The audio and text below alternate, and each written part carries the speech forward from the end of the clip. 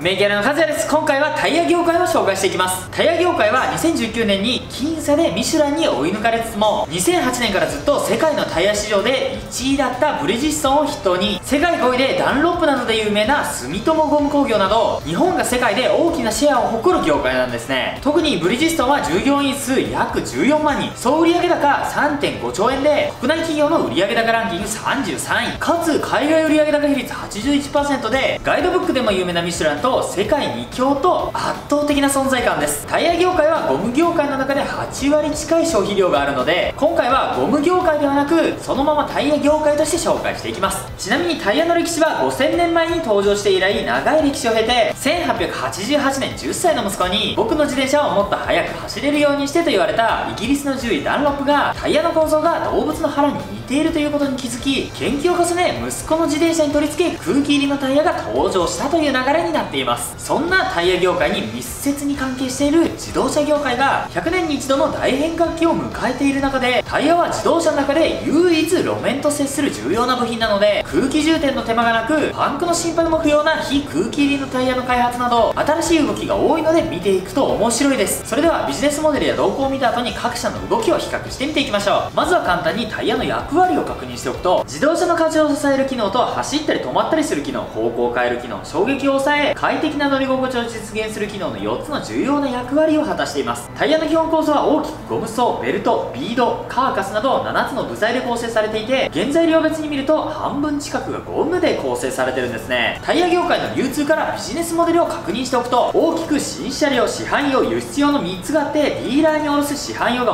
最も大きい割合になって市販用のうち乗用車が73%トラックバスが27%になっています。それではここから国内のタイヤ業界の推移を自動車の生産台数の推移と比較してみていくとバブル頃にピークを迎えた自動車と違ってタイヤはリーマンショック前までずっと堅調に伸び続けてきたんですね。国内の需要は落ち着いていますが新型コロナ前の予測では全世界のタイヤ需要は自動車生産台数の年率1.9%を上回る3.2%の伸びが見込まれているんですね。ただ中国をはじめとした新興国メーカーが増産して競争が激しくなったことで徐々に上位メーカーのシェアが奪われ始めているということは押さえておきましょう。実際中国の生産量が約4割とかなり多いですよね。今後は全体としては世界で新興国を中心に安定的な需要拡大が見込まれる中ここからはそんな現状を踏まえつつ新型コロナの影響を見ていきましょう。タイヤ業界世界2強のブリヂストンの株価を見てみると日経平均と比較してかなり落ち込んでいることが分かりますね。投資家はかなりネガティブに見ています。海外比率8割以上もあるためグローバル経済活動停滞によって特に欧米での新車用補修用ともにタイヤ需要が減少したことが影響しています。ただブリヂストンはキャッシュリッチ。簡単に言うと財務体質がかなりいいことで有名な通り決算でも言われていますがコロナ禍においても格付け機関の信用格付けでは十分な資金があることを理由に高水準を維持しているのがすごいですよね。今後世界の自動車需要の回復時期がいつ頃になるのかが重要なポイントになっています。それではここから各社を比較してみていきます。まず全体像として世界のシェアから見ていくとブリヂストンは直近の2019年はミシュランに0.4%という僅差で抜かれて2位になっていますがこの2強が業界の中で圧倒的な存在感があります。ここにアメリカのグッドイヤーコンチネンタルと続き5位が住友ゴム工業という並びになっています。国内は改めて見てみるとブリヂストン住友ゴム工業に続き横浜ゴム東洋タイヤが続いています。ブリヂストンの規模感がやはり圧倒的ですよね。今回は業界トップ3のブリヂストン住友ゴム工業横浜ゴムについて紹介していきます。ブリヂストンは1906年に足袋の専業としてスタートし今や連結売上高3.5兆円を超え150カ国以上で展開し連結従業員数はなんと14万人以上でミシュランと並び2強の一つとなっているタイヤメーカーです。プレミアムのレグノや低燃費のエコピア雪のブリザックなどが有名ですよね。有名な話ですがタイヤにはダンロップファイアストングッドイヤーなど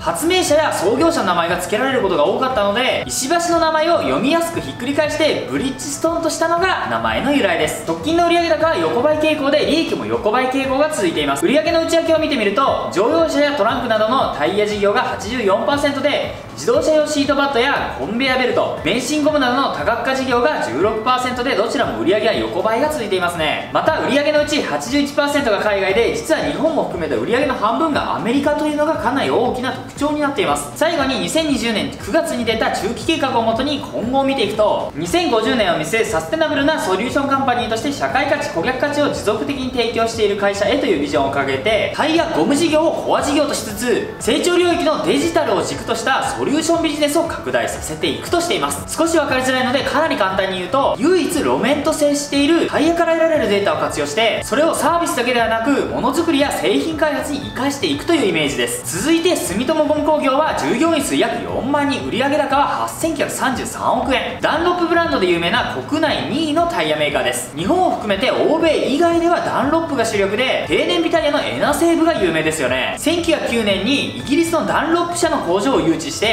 日本初の近代的ゴム工場として創業以来110年以上が経ち直近は横ばいが続いているもののこれまで着実に売り上げを伸ばしてきました。ゴルフやテニスでも有名ですが1930年には日本で初めてのゴルフボールや公式テニスボールの生産を開始しているんですね。売上の内訳を見るとタイヤ事業が約86%スポーツ事業が9.5%残りが産業品他事業になっています。6割以上が海外事業になっていてアジア北米欧州とバランスよく展開していますよね。今後は特に海外市場での売上収益と事業利益を拡大させて真のグローバルプレイヤーになることをビジョンとしていて高機能タイヤの売り上げを伸ばすなどして2025年には売上高1兆円。事業利益1000億円以上を目指すとしています。最後に横浜ゴムは1917年創業で従業員数は約2万7000人。売上高6505億円。世界120カ国以上でビジネスを展開する国内3位のタイヤメーカーです。スポーティータイプのアドバンなどが有名ですよね。国内メーカーはもちろんポルシェやメルセデス・ベンツ BMW アウディなど名だたるメーカーのプレミアムカーの新車に装着される技術力の高さや2016年に買収した ATG と2017年に買収した愛知タイヤ工業によって強化された農協をはじめ建設機械産業機械林業用などオフハイウェイタイヤです。直近の業績を見てみると横ばいかやや微増という感じですね。事業別に見てみると売上の7割がタイヤ事業で18%がホース配管。工業資材などを扱う MB 事業。2016年7月に買収した農業機械用。建設車両用タイヤなどを扱う ATG が10%程度で続いています。